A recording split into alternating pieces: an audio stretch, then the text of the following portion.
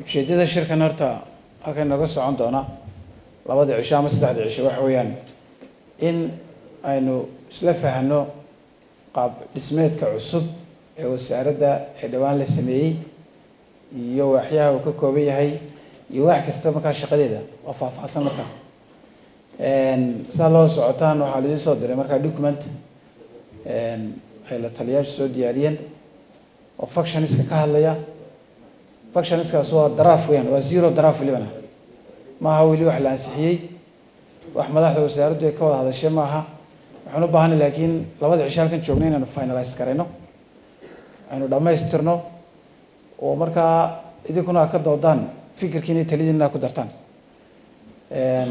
Ujeeddadan u soconay guud waxa weeyaan in shaqadeena wasaaraddu ay noqoto shaqo cad oo qof kastaa markaa shaqadu qabanaya ee marka ay caddahay isla markaana markaa uu qofku fahansanyay markaa waxa laga doonayo iyo waxa laga filayo.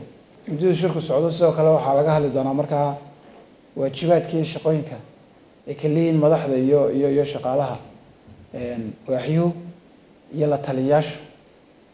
Arrinkaasaan jecelna markaa inaan si cad markaa u qeexno una caddayno roolka la taliyo waxa weeyaan ama la taliyayaashu waa farsamo iyo tala soo jeedin ka muuqato marka. Marka qofka la taliya markuu tala soo jeediyo waxay noqonaysaa markaa taladiisi in la qaato ama la diido. Haddii markaa lagu qancana markaa oo shaqada laga filaya tahayna in markaa shaqada toosiyo. Haddii markaa lagu qanci waayena in magaranaysa waa tala marka horeba taana saan isula fahno waa wasaaraddii dhisaysay in bulsho aqoon lih ay dhisato. Waa wasaaraddii dhisaysay in bulshadu ay horo marto. Hadday wasaaradaha kale ka shaqaynaya qaar dhaqaalaha qofkii dhaqaaliyahanka ahaa wasaaraddaa soo saaraysa. Haddii qaar ay caafimaadka ka shaqaynayaan mutakhasiskii caafimaadka wasaaraddaa soo saaraysa. Hadduu qof looyar noqonayo waa hal majara waxaa lagaba maarmaana in qofka hoggaanka wasaaradda noqonaya inuu laba sifo leeyahay sifada koowaad waxa weeyi waa itqaanu alcamal qofku shaqada uu hayo waa inuu hagaajiyo. Waa inaanu jooga maqan noqon. Waa inaanu noqon jooga aan tirsanayn. Waa inuu itqaan la yimaado. Qodobka labaadna waa inuu amiin yahay. Agaasimo waaxidyada wasaaradaha oo dhan inay eegto siifiyadooda oy eegto inay relevant ku yihiin ee la xidhiidhaan aqoontay barteen kaalinta mas'uuliyadeeda loo magacaabay. Keliya maaha xulistooda iyo soo saaristooda oo keliya inay eegto performancekooda anshaxmarintooda dallacsiintooda shaqo ka saaristooda xaqsiintooda.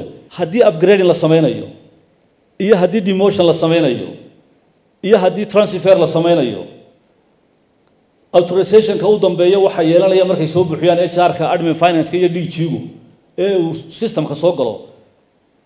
Window bay ku leedahay access code bay ku leedahay hay'adda shaqaaluhu ka ugu awoodda badana.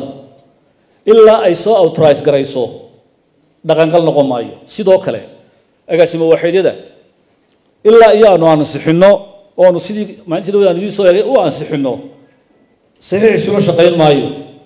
Gunadiisuna waa nalan void waa ina taa ogaataa.